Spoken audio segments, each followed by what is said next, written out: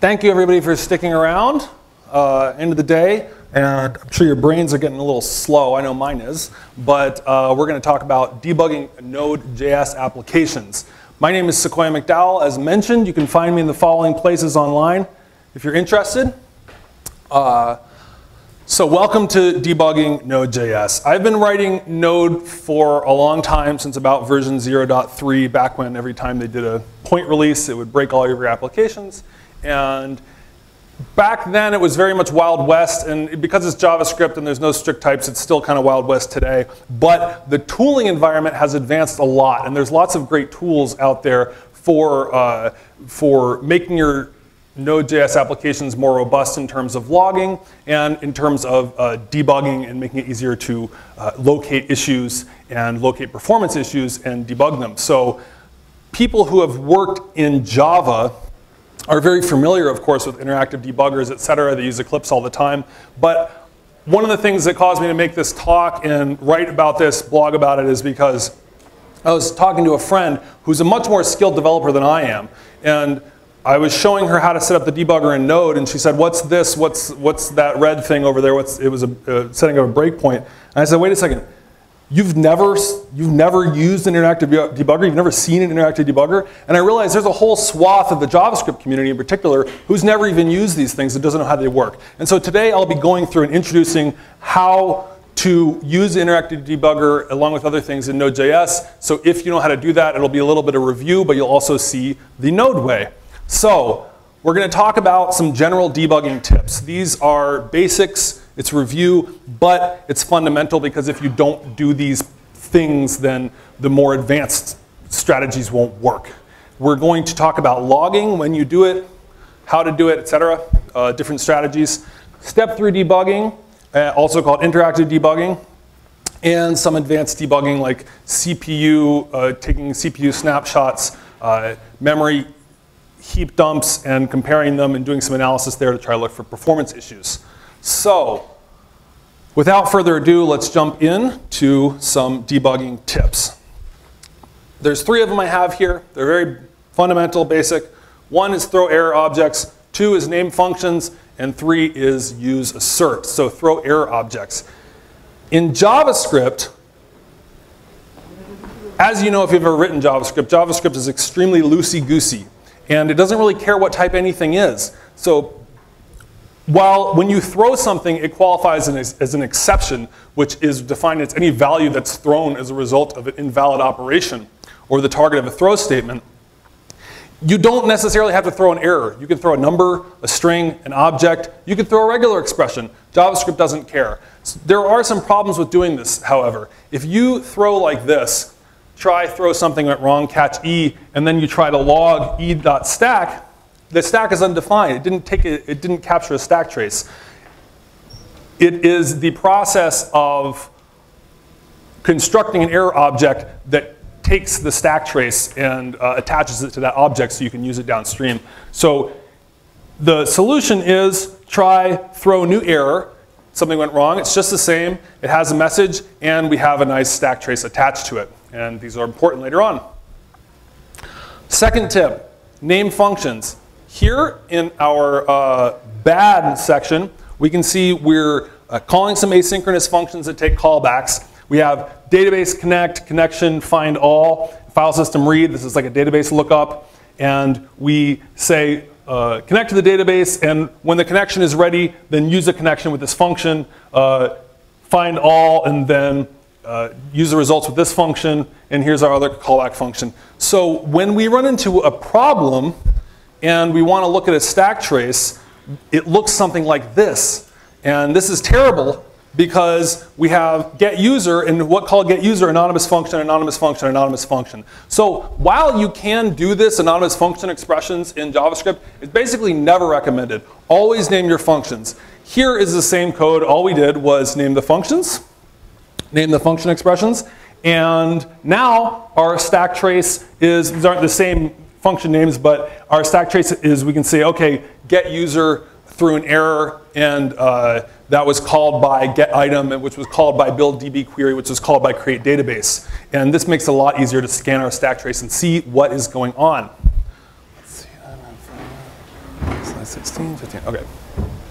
Second tip, use assert, or third tip, use assert. So here, I have a configuration object, it's for a web server or something, and we have a few properties on there that are absolutely required or we want to exit the application, or at least throw an error and handle it somewhere else. So we want to check that host is present on the configuration object, and we want to check that port is present and that the type of port is a number. So we can say if config host or if not config host, et cetera, et cetera. In Java, it's very common. Who writes Java here? And of you who write Java, who uses assert frequently? Some people? Okay. In the code I saw, people use assert a lot. I thought it was kind of great. Node.js also has an assert API built right in. So in addition to things like just assert, which it check, checks that this is truthy, uh, raise your hand if you're familiar with, with what truthy means in JavaScript. In JavaScript, things can be truthy or falsy. So something like a string is truthy, but if the string is empty, then it's like a false. So uh, in any event, it checks, it, it, checks for truthiness here. But you can also do more strict assertions like uh, assert dot equal, assert deep equals for an object, etc. And basically, this is just a shorthand. It takes a value, uh, throws an error if something's wrong, and you can optionally give it a message that will be attached to that error. And using assert makes your code more concise. It makes it more readable. You can see uh, immediately what's going on. You know, it's clear that I want to assert that it's, it's clear what the intention of this statement is more so than this. I kind of have to read through the whole thing to figure out what's going on. So use assert. It's like Java and it makes an error with a step trace and optional message. Console logging. Moving on to logging. So you're writing your application and you are having a problem somewhere, and so you add some console log statements. Here we have an application, maybe it's got a, a, a web server and Express, it's got a router. We want to log when somebody hits our, our posts, our users' routes. We have a database API, and it emits a query event every time you query the database. And we just want to say every time a query comes through, go ahead and log that.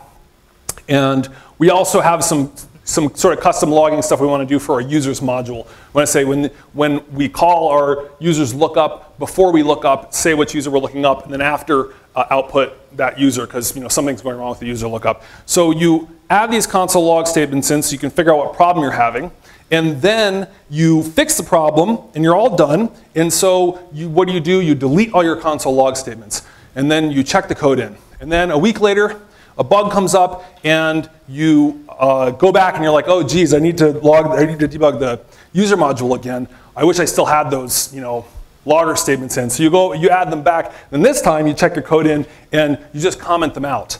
And so then you have commented out uh, console log statements all over the place. And this obviously creates a problem because it's easy to forget to comment something out. You check your code in, the code review, it gets rejected, it's embarrassing, it's terrible. And I know what you're thinking, there's got to be a better way, and there is. What we want to do essentially is keep our console log statements, but be able to optionally turn them on when we want and turn them off when we don't want. And there's a module for this, and it is called debug. Debug is one of my favorite NPM modules just in the sense that it's very small, it's very simple, it does one particular thing. I usually add it uh, when I'm starting a new project right near the beginning. And all it does is it allows you to use an environment variable to turn debug logging on or off uh, based on the environment. So we're going to install and save debug in our project. And then in order to uh, start logging with debug, we require debug and we create a logger. And in order to create a logger, we have to give it a label. Uh, we're going to call it my app. That's our my app logger log test, and then set timeout in 500 milliseconds, uh, uh, do another log message here. Now, who's familiar with the printf from C or Java? So this allows you to put things, you know, percent %d for, for a double or percent %s for a string. And you'll note here that with debug, there's uh, some extensions on that. In particular, percent %j, which is nice uh, for logging JavaScript objects. If you say console log a JavaScript object or pass it to debug like this, what you'll get is object, object, object, object, because it says, you know, the toString method returns the string open bracket object, object. This will say, no, treat it as a JavaScript object. I want to see all the keys and values. So we start our script and the output is, um, is nothing. It's nothing right now because by default, debug does not turn these loggers on. So if you're in a production environment or whatever, these are just no-op functions. What we need to do is pass an environment variable and of course, this is one way of setting environment variables by putting them in front of the command, but the whole point of environment variables is that they are dependent on your environment and you can set them all kinds of different ways. If you have a Docker container, I think you can put them in the Docker config. If you have on AWS, there's probably some way to do it. And so that means that, you know, on, uh, on production, you can, you can have these turned off, and somewhere else you can turn them on. Here, I'm turning it on just for this process. Now, we get this debug output where it says uh, my app, it has the label, has a color, has the messages, and then they have the timings over here. And this is just the time since the last debug, uh, since the last call to the logger. And so those timings, these aren't really, these, these aren't super precise and they're not, uh, they're not especially customized, but they're just there and they're kind of useful just as an extra thing to add in. So now let's use our logger on the code that we just set up. So we're going to replace the console log statement with log and set the debug environment variable to my app. And this tells the debug module that we want to turn on the debugger labeled my app. And when we run our script, it's the same as before, except for, you know, we have the labels and we have the timings. So this is useful. It's kind of useful for the query. You can see, you know, plus 108 found user. You can see that it took about 108 milliseconds to run that query. But this isn't that useful because it's kind of like turning on the whole application verbose mode. And we can do better with than we can do better with this because if you have a bug in the users module, you don't want to turn debugging for your whole application on. You want to just turn the debugger on for that portion. Now, what we need to do first here is instead of having one debugger, we're going to create several different debug loggers. And they are going to have labels that are different, but the labels share a common property, which is a namespace. And in the debug module, essentially, namespace separator is a colon, and then all of these ones, my app colon, are in the same namespace, and we can turn them all on together, off together, etc. We have one for database, one for routes, and one for users, and we'll use the different logs in the different places. So in the users module, use the users log, and the routes module, use the routes log, and ditto with the DB module. And one of the things I like to do is actually put all of these loggers in one big file called debuggers, and then just export them. And then if I want to use them in different places, you're using the exact same one. So that's uh, uh, fun thing to do. So now we're going to turn on myapp colon star, and this says match everything in the myapp namespace and turn those ones on. And when we run our script like this, we can see we have the, the different labels for different debuggers. They're nicely visually offset with colors, so it's easy to scan visually and see which one's which. And we still have our timings here, which are incidentally since, I believe, the last call of that exact debugger, not of any debugger. So what if you're only debugging the database? We can just turn on our database debug, database logger. So here, debug equals my app database, and all the other ones are turned off, just the database one is turned on. Or maybe we're working on, we're having some issue with the user routes and we want to turn on the routes debugger and the users debugger. We can say one name, one label, comma, the other label, and turn both of those on. Alternately, maybe you have one debugger in particular that's very noisy, like the database logger is uh, logging every single query, and you want to turn everything on but just turn the database one off. You can say comma minus whichever one you don't want. So here we turned on everything. So allow all, then deny the database logger. Debug is widely used. This is a nice benefit of it.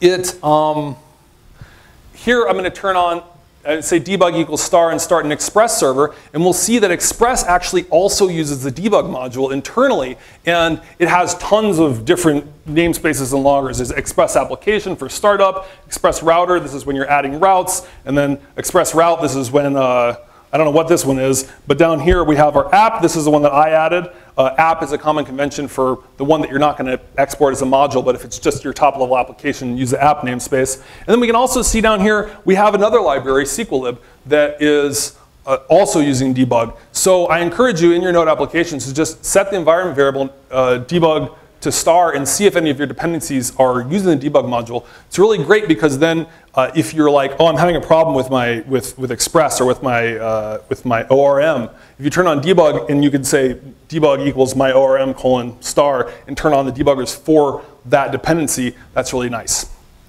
Finally, this is a node talk, but debug also works in the browser. This is a case where I was making an editable map, and there are all kinds of different events with like click editable and drawing, drawing end, and you know drawing stop, and, and uh, I was getting confused about the interaction, so I attached a debugger with a different namespace to every single event, and then as I went through and clicked on things, I could look at what's happening and, uh, and then figure out, uh, discover how the application was working. So Debug modules are great, you should start using it. But what if you need more robust logging? Debug really only just helps you turn things on or off in the console. If you need to do something like write to React or write to Papertrail or a third-party logger or to syslog, you want something like Winston. Winston has log levels, has multiple transports, and it has formatting plugins. So for example, if you like uh, your Apache logs and you want to make your node logs look exactly the same, you can add a custom formatting function so anytime you call the logger, it will uh, format it with a timestamp or whatever you want. So we install Winston, require Winston, and then this exports one default logger. You can create more loggers if you want, but this creates one by default. And then the API is a little bit different from debug. We say winston.log, we give it a log level, and then a message. And also there are shorthands for these log levels, winston.info, winston.debug, etc. So now when we start our application, we'll see info uh, a couple of info statements. But we called the logger four times and we're only getting two debug statements output. Why is that? It's because Winston has the concept of log levels. Who's familiar with log levels from other environments? Yeah, log levels are a fairly common concept. These are the NPM log levels. You can also use the syslog log levels. Uh, these are just the default ones, but Winston works with both. Basically, for anybody who's not familiar, log levels, uh, it, rather than like in debug where we create a ton of custom, essentially custom labels and custom namespaces, with log levels you say, uh, right now I'm in a production application, set the log level to zero. I only want to see something come out of the logs if there's a critical error. Or you might have a continuous integration server, or maybe your production server is having some problems, or you just want to check on stuff, so you turn it up to one, so you see warnings and errors. Maybe when you're working locally, you have it on info, and then when you're having a problem, then you turn it all the way up to debug, and then it starts uh, outputting all kinds of information. So the default level is info. You can switch it to debug. Winston doesn't do a lot of the stuff out of the box for you. It allows you to do it programmatically, which means you can pick the criteria that you want to use to set uh, the log, whether it's the, the environment variable like I have set here, or whether it's based on the URL, based on uh, the machine name, etc. So it's much more powerful and a little bit more complex. Winston transports. These are extensions that send log messages somewhere. Winston has a few of them built in. Here you can see I'm adding Winston transport file to log to some log.file, some file.log, and I'm removing the console transport. With Winston, you can have multiple transports. So if you want to, exa for example, write it to React, but also write it to a local file, or send it to Papertrail, but also output it to the console standard error, then you can uh, do both of those things. It has a few built-in transports, file, cons console, and HTTP, but there are tons of additional transports for Winston. And if you don't see the one that you use, the logging system you use here, then run npm search Winston, and you can see the dozens of other uh, dozens of other Winston transports. So chances are, for whatever system you're using, it already has a transport for Winston set up. Let's see, 18 minutes, we're at 53. Okay, so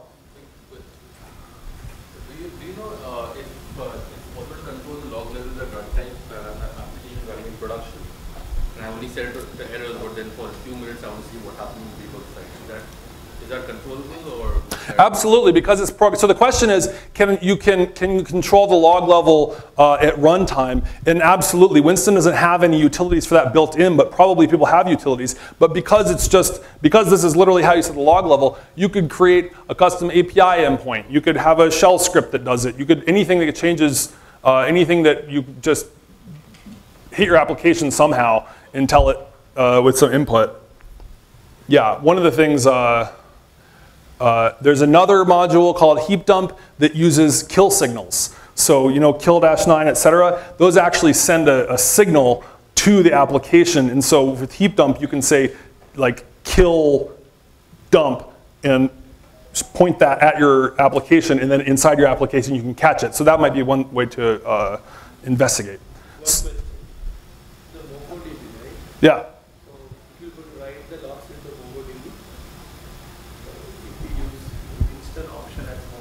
Yes.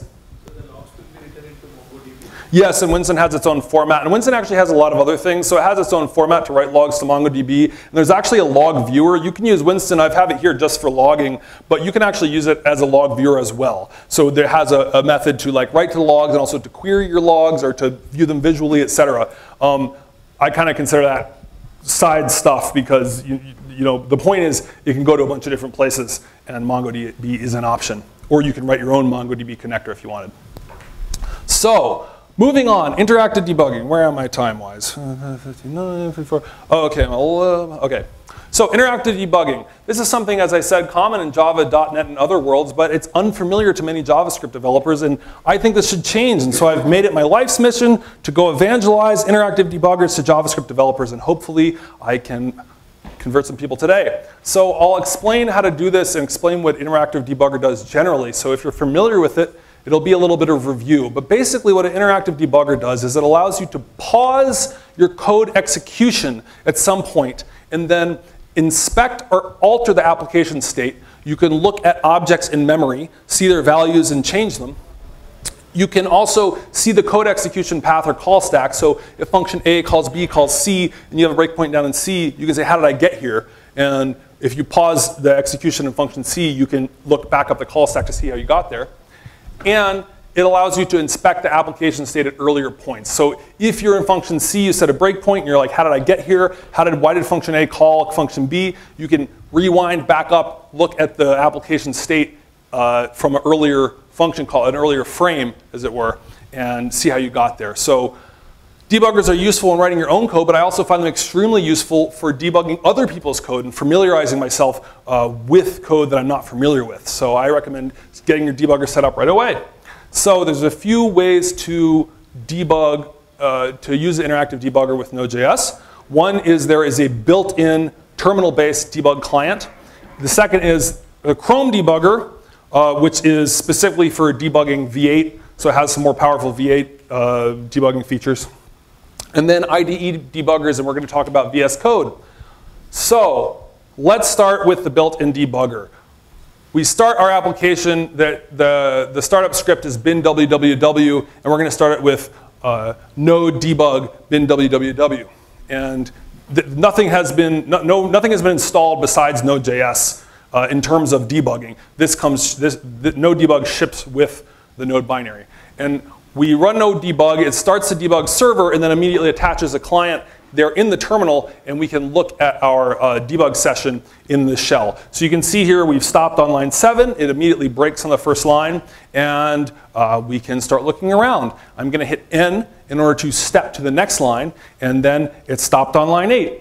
And uh, I'll enter the help command to see what else we have available here. And you see we have R for run, C for continue, uh, S for step, step into a function call, O for step out of a function call. Um, I'm going to go ahead and hit C to continue and then dot exit to quit this debug session because it's useful to know that this thing is here, but it's, it's and you can set breakpoints. You can do basically everything you can do with a more powerful debugger, but it's, this is hard to use. And so um, I don't, so just know that it's there and let's move on to the easier to use tools. Uh, if you find yourself on some server and you want to start a debug session in Node, you could do it this way. So let's look at Visual Studio Code. Visual Studio Code is kind of like, it's, a, it's like an editor IDE hybrid. Uh, I think that Microsoft kind of wanted to court people in the open source community and maybe bring people into VS Code who aren't familiar with it or wouldn't be uh, typically people who use VS Code. So people like me who are web developers primarily and uh, open source application developers, and I've never used Visual Studio in my life. And so, but I do use and really like VS Code. And it's written by Microsoft. It's written in JavaScript. It's kind of like if you're familiar with the Atom editor from GitHub, it's very similar to that. It's kind of like Microsoft's fork of Atom with a bunch of integrated JavaScript stuff. and it's free and open source, you know, open source free, which is to say you probably have to sign some sort of contributor licensing agreement to use it, but you don't have to pay for it. So let's set up a project so we can debug with VS Code. This first step here is just, if you want to follow along at home, this is just scaffolding an Express app. And I'm doing this just so I have a, a, a an application, a, a, common baseline to start debugging. So I'm going to install a generator, which is, this is just an Express scaffolder. Run Express test app. It creates an application with a few routes and stuff like that. And then change directory into it and npm install. Now we can run npm start and our Express app is up and running. We haven't done any debugging yet. This is just getting the app running. So now, from the application directory, we run code dot, that pops open uh, Visual Studio Code. And we can get started with our debugging. Well, not exactly. We have to first tell Visual Studio Code how we want to debug our application. So there's a couple of ways to launch the debugger from Visual Studio. And one is to launch the application from the shell, or launch it however you normally launch a Node application, and then attach the debugger to a running application. And the other way is to launch it from VS Code. And the second way is the way that you would generally do while developing. So if you or, and if you're used to uh, debugging in something like Eclipse, that's very similar. You you know set up, you tell it, you tell the IDE how you want to launch your your program, and then you say, you know, debug, and it will launch a debug session. The first way is for attaching to a running node instance. And this is the way sometimes I get questions like, can I debug node in a Docker container? Can I debug node on a remote server? And the answer is yes, you just have to start node with, uh, well, let's look right now how you do that. So in order to start debugging, we have to tell VS Code how to start our application. We click over here to the debug pane, this little X over the bug, and we want to click the green button, but it's not going to let us do that because it says you have no configurations. I'm sorry if that's very small and hard to read. Over the gear, you can see a red dot, and you click on that, and it says, hey, I can generate some launch configurations for you. What kind of project is this? And we want to say, well, it's a Node.js project. And it says, OK, great. Here are a couple of launch configurations to get you started.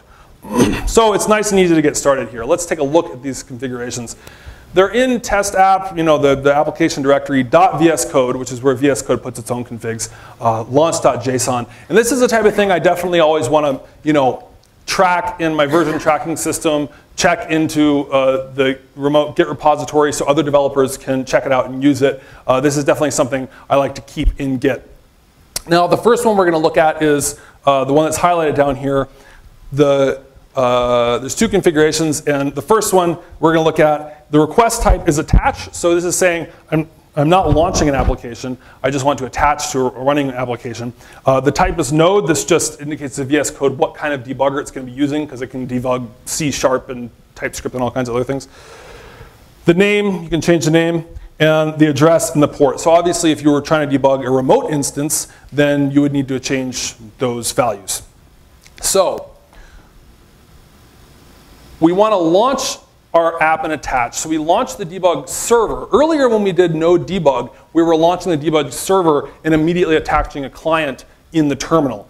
Here, by using node dash dash debug, we are launching the debug server, but we don't have a client attached. So it's going to go ahead and just proceed and output our, you know, our uh, start our server and start listening on port 3000. So now that the, debug, the, the server is listening, we can then attach the debugging client, in this case, which is VS Code.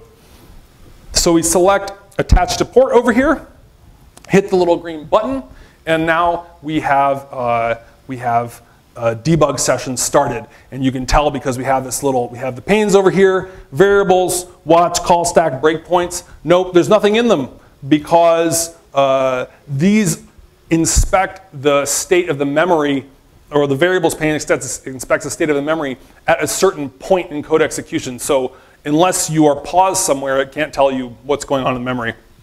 You can see the controls up here, basically what you'd expect from an interactive debugger. One thing to note there is on the far right that has a little plug on it. The stop, uh, it's just saying I'm not actually stopping the server. All I'm doing is detaching the debugger. So we'll set a breakpoint here on line six. And when our home page is requested, we want to stop code execution. So we go to our browser, we request localhost 3000, and we hit enter, but it will not load. It will just sit there and spin and spin and spin. But VS Code will pop open and say, okay, I'm stopped. We have a break on line six. So the red dot is our breakpoint, and you can see this little uh, yellow indicator here uh, indicates that this is the current frame that we are paused on.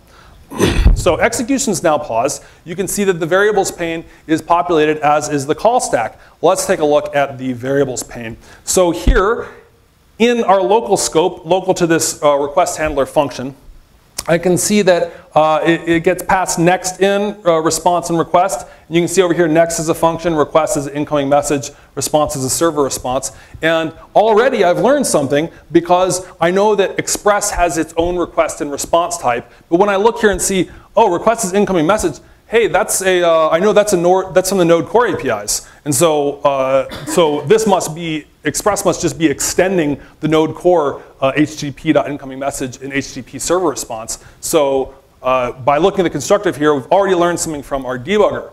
So let's open the request object and look around. One of the things that's nice about this is that a lot of these objects are really big. So if you try to do something like console log or even like console.dir, which will output the whole thing as an object, it's difficult to look through these, but with the code, with the code execution paused, you can, at your leisure, uh, explore that object. If we scroll down a little bit here and open the headers, we can, we can look at all of the request headers that came in. So that's useful. And we can also see the HTTP version, the method, and uh, the original URL, etc. So this is a good way to discover what's available. Now, of course, everybody documents their project meticulously and keeps the documentation up to date. But that said, sometimes that doesn't happen. Documentation uh, goes out of date, things are not well documented, uh, sometimes it's incomplete. This is the ultimate source of truth. Either reading the source code or even better, just inspecting, inspecting the code, uh, inspecting the memory while your application is running. This is the best way, better than documentation, to discover what's available. So let's say our issue is in the rendering itself, not here. So we've paused here on line six, this response.render, but we're having an issue, uh, we could press play and it would complete the response, we're having an issue with the rendering itself. So we're gonna click the step into uh, button to step into that function call. You can also hit F11, there are shortcut keys for all of these. I recommend learning them because then you can cruise through your code nice and fast. So we step into this function call. Now we are in, uh,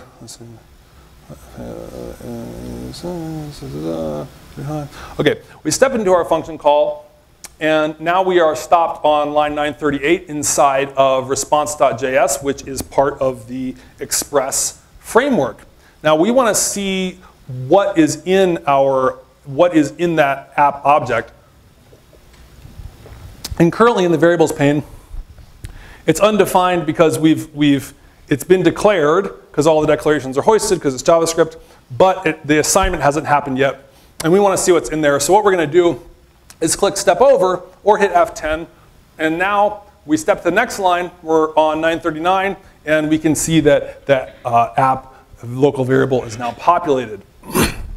So that's well and good. We know how to step into functions, how to step over, step out. Uh, what that does is it says run code all the way to the return statement, then return and then break. And so if you, you're stepping down into some libraries and you say, I've gone way too far, you can step back out and try to get into your code again. So let's look at editing variables in the variables pane.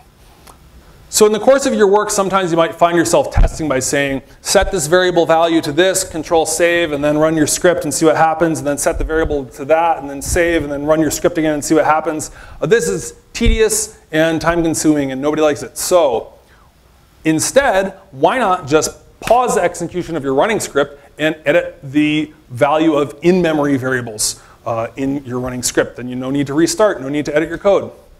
So here we are stopped on line 939, and we want to edit the options that are passed to our template. Currently, the only data that's being passed to our template is the title. The title says express, and that sets our title and sets, you know, uh, sets the, the header, etc. And we want to change that, so we double click on it. We edit it to what we want. We hit, hit enter. We've now updated it in memory. And now I'm going to click continue. Or you could also hit F5. And all this time, our server has been waiting. It's just been hanging. But when we, uh, we hit F5, then it responds to the server, and now we can load with the new value here. And now our template is rendered with the new value we set in live in the memory with the debugger. Bahotacha! so, let's say we want to go back to the caller. We stepped in too far. So we're in our, you know, rewind your mind. We're, we're on line 938 here, but we decide actually, um, I stepped in too far. I want to go back to see who called this. Now, I'm, this is where we're going to look at the call stack. And can anybody see the problem here? What is that? Um, you can. we'll look at that right now. But uh, the problem I'm looking for is that, that it's kind of hard to see, but anonymous function, I haven't named my, my request handler. And so this is the, the dreaded anonymous function in your call stack that you're like, what the hell is this? So name your functions. So I mouse over this, I click on it, and then note that the little indicator here, it's hard to see, but it's green. And this is saying, this is not the current frame. This is, we're just inspecting another frame. Now, if you look at the variables pane here, this shows variables that are local to this frame, which is this point in code execution. When you, when you go back to an earlier frame, now the, the variables that are available in that local scope are different. And so you can see things from that frame. Now, we're just kind of peeking at that frame right now. The current frame is still this one. We're just kind of uh, viewing an earlier frame. But if we want to rewind, we can right click and then hit restart frame and then this will pop us back to this location. So if we are in A and calls B, calls C, we set a breakpoint in C, and we say, actually, uh, I want to change something in A and, and, call this whole stack again, you can go back up to, to that frame that A is, right click, restart frame, and you basically reround your code. Not all debuggers can do this. Some of them can, some of them can't. The Node one can now. I don't think it didn't used to be able to, and now it can, so that's great. Very powerful, step through your application, go back, see who called what, etc.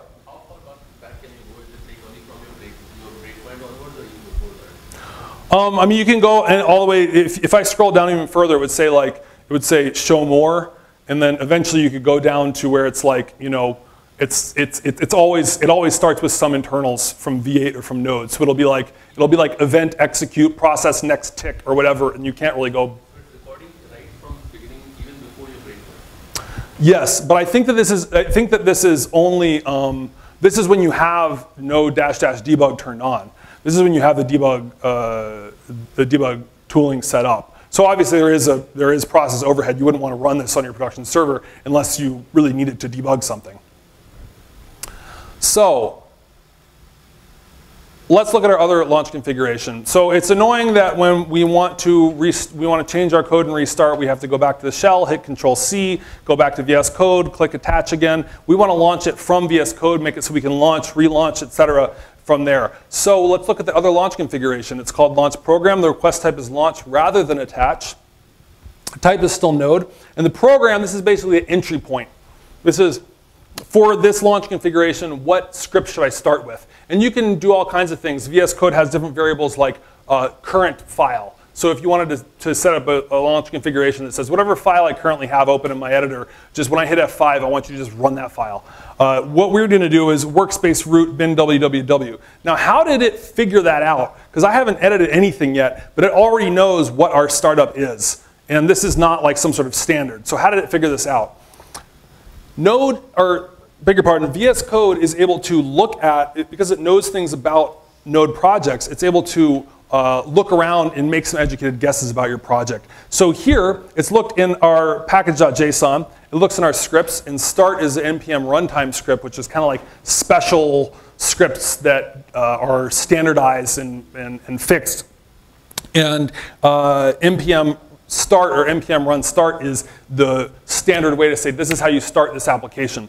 And so it looks here, it sees, ah, you, to start the application, you run node and then dot slash bin www. So it's able to find that, parse it out, and then build it into a launch configuration for you. Because unfortunately, you can't just set launch configurations to say npm run my script. That would be really super convenient, and I hope they add that feature in the future.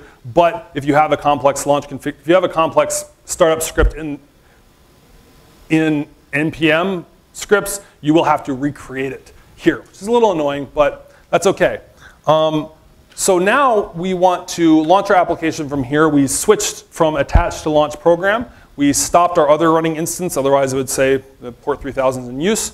We press the play button, and now I've set a breakpoint on line one, and we are running it from VS Code. And you can see here that the debugger is listening down here. Uh, the, the, the debug out, so, uh, the console output is now here in our, in our uh, IDE. So this is great if you like using your IDE, you want to see the console output there, you want to do your debugging from there, everything in one place, hit F5. I really like this because this means when somebody says, oh, there's a bug in this application, can you check it out? And it's something that I wrote and I have a VS Code launch configuration set up for. I just change directory, code dot, F5, and like 10 seconds I have a debugger session uh, set up and running. So uh, this is a far cry from the node experience of yesteryear of console log statements everywhere. It's much better. So more launch configurations. Let's say you have something a little more complex, like I have to set an environment variable, and I'm actually not starting from one of my scripts. I'm starting from, uh, I'm starting from uh, node modules bin node lambda,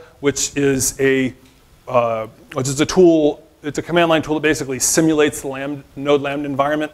In node, uh, sorry, in AWS Lambda. In AWS Lambda, it runs your function with a context and an event. And so all this tool does is it runs and it reads a context object and it reads an event object and we're reading them from the current working directory. And so we want to call this script, we want to, it has an argument run, and we want to set an environment variable. And it's important that we run from the current working directory because it's going to look in that directory for the event and context objects. So how you'd set that up is with the program is workspace root node modules, et cetera. So it doesn't even have to be one of your own scripts to start up. It could be a different tool. And arguments are run. the current working directory, we can set the current working directory for, uh, for this. And again, you can set this to all kinds of different variables, like make the current working directory my current file or whatever. And we can set our environment variables. There's lots of other things you can set up here. If you have source maps, you can set those up. Uh, there, if you want to stop the debugger right on the first line as soon as you start it, you can, you can set that up. There's lots of stuff. I encourage you to explore it. It's very fun to set up these launch configurations. In some of my projects, I have like 10 different launch configurations, which is nice because then I can send it to another developer and they're like, how do I do this? I don't know about debugging Node. I'm just like, look, just install VS Code, clone the repo, you know, pick the dropdown, hit play, you're good to go. And so uh, that, that's nice. It allows other developers to benefit from the work that you put in. So let's, with that set up, let's revisit our breakpoints and go over the different debug panes. So break on exception is checked by default. Here I'm going to add a, uh, uh, some middleware to my Express application. I'm going to use a static middleware that serves static files. And so I construct that middleware and attach it uh, to, to my router. I start the application up in the debugger, and all of a sudden, uh-oh, uh, there's an error, uh, unhandle exception, root path is required. And over here, I can, if let's say I didn't know exactly what line it was on already, I could say, okay, I have this, uh, this error message, I don't know where it came from, et cetera. Maybe it's somebody else's application. Maybe it's a new error that came up from wherever. So in the past, I may have had to uh, look through, I mean, even the anonymous function here, if I had an error call stack, uh, coming out in my, uh, in, my in, in, the console, I would see an anonymous function in a file called index.js.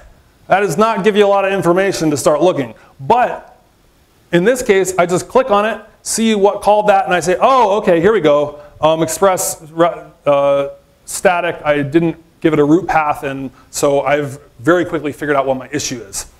You can also break on all exceptions uh, is another option, but be prepared for a lot of noise if you do that. A lot of libraries and frameworks internally will throw and catch errors. Um, and if you break on all exceptions, it just stops a lot. So you can also set conditional breakpoints. So for example, if you wanted to stop, uh, pause a request only if the, if the, uh, if the user was, if the, if the request dot user dot role equals equals admin, then you could only pause on those requests. Or if some other condition is met, you can also pause on a hit count. I find these useful for when I'm running a script and I, there's a function I expect to be called twice, and for some reason it's getting called three times. And I know why it's getting called the first time, and I know why it's getting called the third time, but I can't figure out why, why it's getting called the second time. Then you can set a breakpoint with a hit count that stops only on the second call, etc. There's other kinds of breakpoints you can set I won't go into. There's column breakpoints in VS Code. There's a really cool feature that's kind of JavaScript specific. Sometimes you have compiled or built minified code, and it's like, you know, 10,000 uh, characters on one line. With VS Code, you can actually say stop on column 5,000. That's really nice. So watch expressions. The pane below variables here is watch expressions. If you find yourself stepping through your code in every line, you're like, okay, look at you know, request params user or request whatever uh, user role, and then you step to the next line and go check that again, step to the next line and go check it again.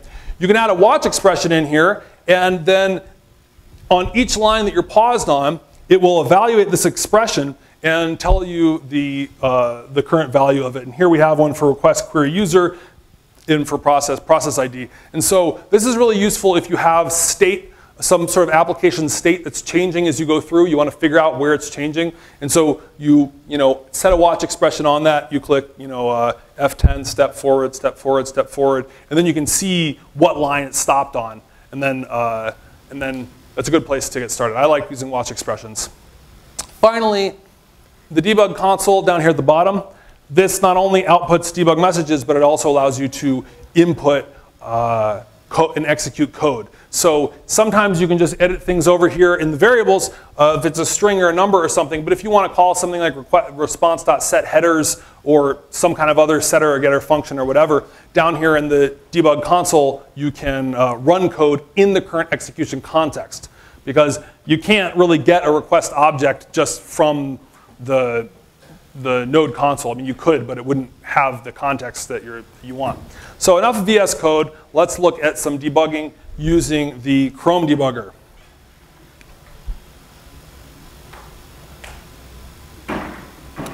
So, in order to use the Chrome debugger to debug Node.js applications, you have to install a uh, node module called Node Inspector. And how you install that is npm install -g node inspector, node inspect my script. But no, you don't.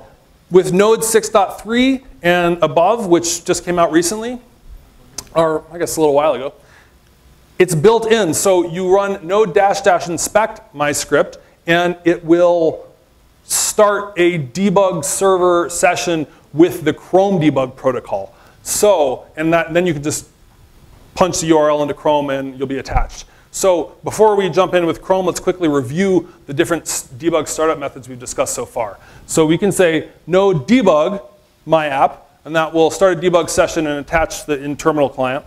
We can say node dash dash debug, and this listens for an external debugger like VS Code or another IDE. Or we can say no dash dash inspect, and this, uh, this listens specifically for the Chrome V8 debugger protocol, which is a little bit different because this one just does breakpoints and stepping through your code. This one allows you to do all kinds of tooling with you know, uh, uh, CPU analysis, et cetera, that we'll look at now. So the Chrome debugger, we've started our app with node dash dash inspect my app. We point a Chrome browser at this URL that it gives us here. And here's our debugger. It looks very similar to the VS Code debugger. So why would we use this one instead? Advantages over VS Code, it has specific specific bindings for the V8 for the V8 library, uh, V8 uh, C library, etc. So uh, because Google built V8 and they also built this debugger, they work very well together. Um, you can take heap snapshots and do various types of visualizations and analysis. And you also don't need to use VS Code. So if you have a, a, a coworker and you're like, oh, check out VS Code, it's, great debugging Node.js, and they're like, oh, I only use Emacs and I hate IDEs. You say, okay, well, you can use the Chrome debugger. You can still have breakpoints. You have your watch expressions. You have most of the stuff you have in VS Code, and you don't have to switch your IDE. So if you know somebody who already likes the, the editor they use, they don't want to use VS Code, they can use this. I like to use VS Code, so I consider it a disadvantage that it's outside the IDE. I prefer to have it in the IDE with my debugger right there, right where I'm working. And there's some non-node related cruft. It's, this debugger was initially built for the browser, and then they kind of had a stripped down version that just does the V8 uh, debugging and allowed you to attach it to Node, but it's not really customized for Node, and so there's some stuff that's a little not intuitive. Solution is use both. Essentially, uh, when you want to do V8 profiling, then you use Chrome. For other stuff, use V8 or use VS Code. So Chrome profiling.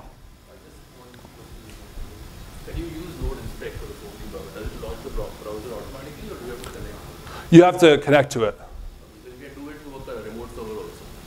Yes. Yeah, you could connect to a remote. I mean, you have to you have to make sure that in your uh, in your firewalls, et cetera, that port 5858 is open or running on a different port, et cetera. But yes, you can do that. Or if it's in a Docker container, et cetera. The question is, can you connect to a remote instance with this Chrome debugger? And the answer is yes. Just make sure that the port is open. So in our profiles pane, we can record CPU profile, take a heap snapshot, or do some other stuff that we're not going to talk about. I encourage you to play around with it. With these side of tools, it's, the debugging is as much an art as it is a science, and it just takes spending time messing around with it and seeing how it works. So we're going to start with taking a CPU profile. We're going to run some requests against a simple Node.js server, an express server with three routes. One for Fibonacci uh, that recursively calls a Fibonacci function, one that is a loop that just generates extremely large arrays of numbers with the purpose of using a lot of CPU, and uh, our, our, and our index route. The important thing here is we have handle index, handle Fibonacci, and loop handler.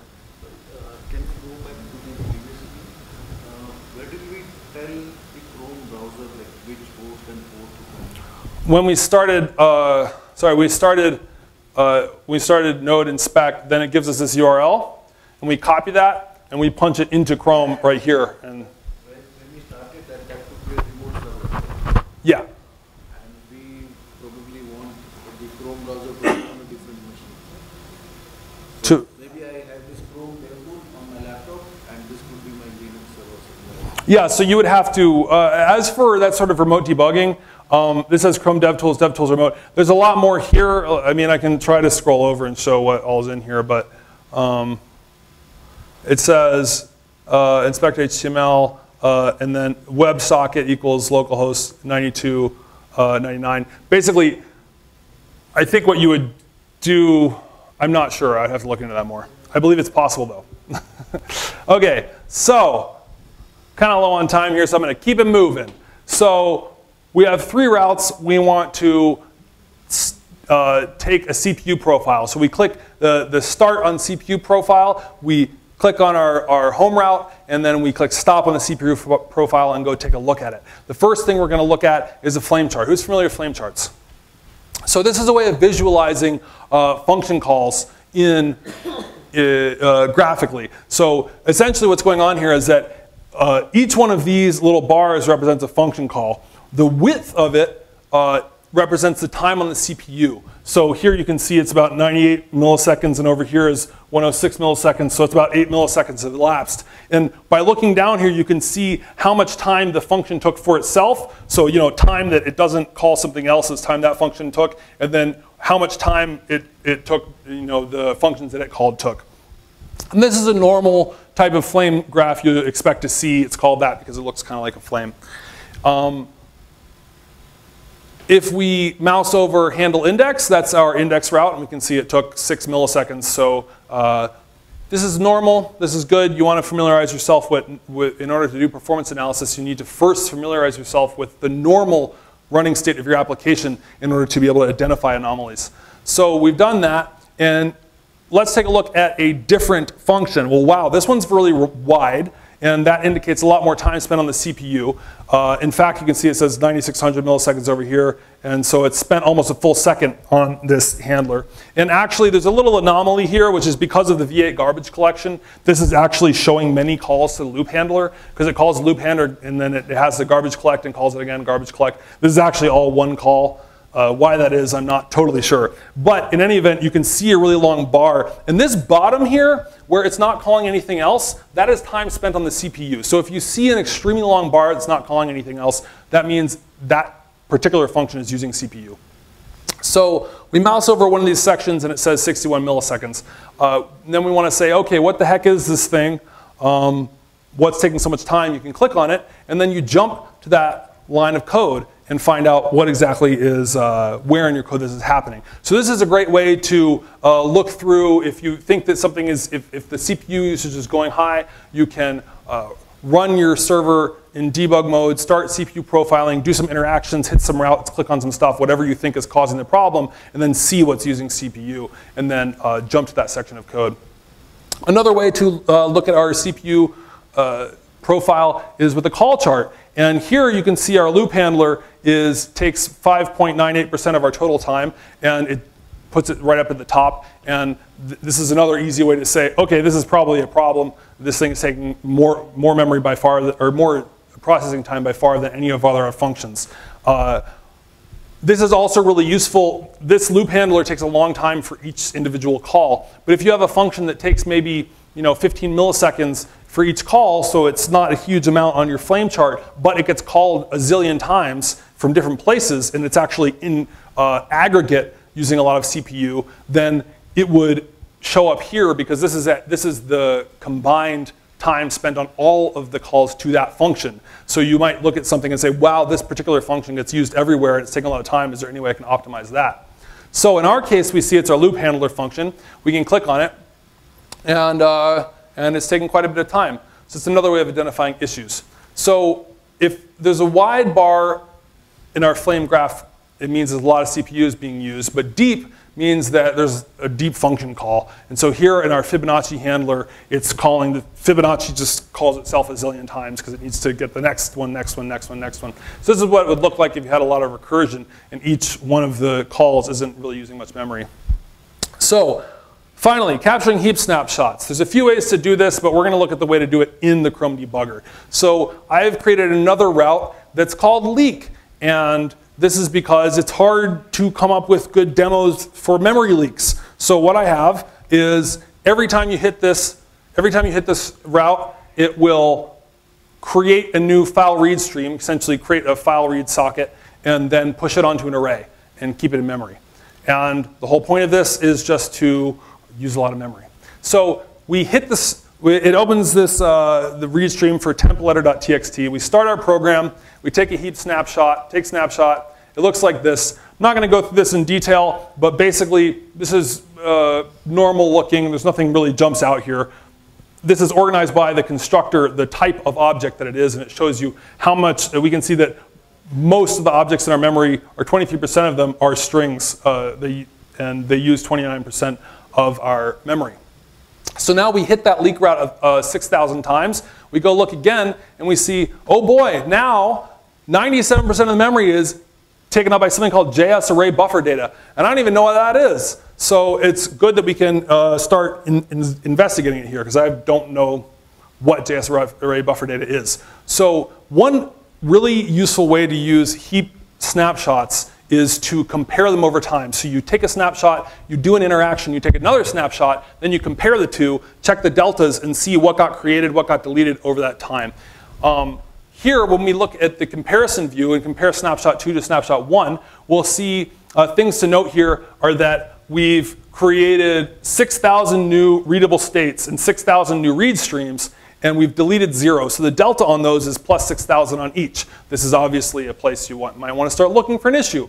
We can also see the allocation size and the size delta.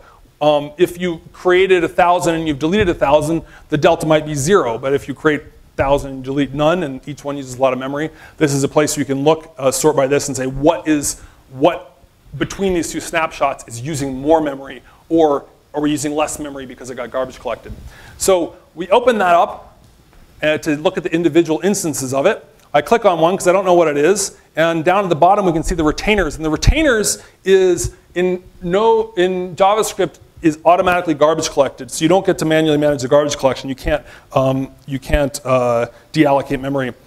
Uh, but what you do is there are certain things like the global scope that are considered garbage collection roots. And anything that's attached to that root, so in the global scope, if I say global.foo equals bar, that will never be garbage collected because it's attached to something in the global scope. If I have a function call and inside the function, I define some variables and then the function returns, then now there's nothing else pointing to those variables. Uh, we, we don't have any pointers to that location in memory, so it can be flagged for garbage collection. Because I took all of these requests and I pushed them onto an array that's attached to global, then those can never get garbage collected. We look at the retainers down here and start looking through because this stuff is somewhat confusing. There's a lot of node internals.